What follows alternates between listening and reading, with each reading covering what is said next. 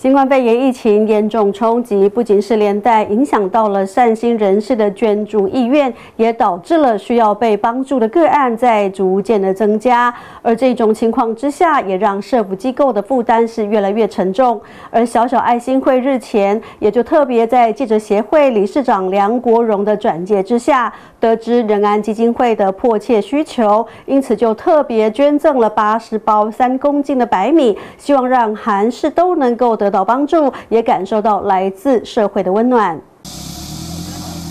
小货车后斗上载满一包包白米，这些全都是小小爱心会的会员们集资的爱心。这次有八十包三公斤白米要捐赠给仁安基金会花莲平安站。一直以米香传爱的小小爱心会呢，这次又出任务了，因为我们知道这次因为疫情关系，很多的物资都缩减，仁安基金会哦，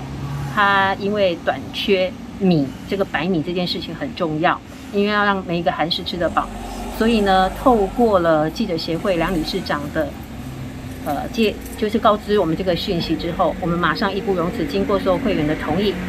给他们这及时最及时的三公斤八十的包的米，希望我们所有的韩式都能够感受到我们社会的温暖。连续三年的新冠疫情，各行各业的经济都受到严重冲击，不仅连带影响到善心人士的捐助意愿，也导致需要被帮助的个案在逐渐增加。这种情况下，也让社福机构的负担越来越沉重。这真的是非常的及时雨啦，因为我们最近因为疫情的关系，很多可能比如说原本捐赠的一些善士们，其实他们本身也可能没有能力再提供我们资助之外，那因为我们附近的很多的其他的社福团体。那可能也无法负荷，所以变说我们由原本每餐呢大概五十几个人的就是服务的对象，变成可能每餐可能七八十人。所以其实我们现在那个仁安基金会的部分呢，就是在物资跟资金上其实都非常的缺乏。小小爱心会在记者协会理事长梁国荣的转介之下，得知仁安基金会的迫切需求，特别捐赠白米，希望让韩氏都能得到帮助，也感受到来自社会的温暖。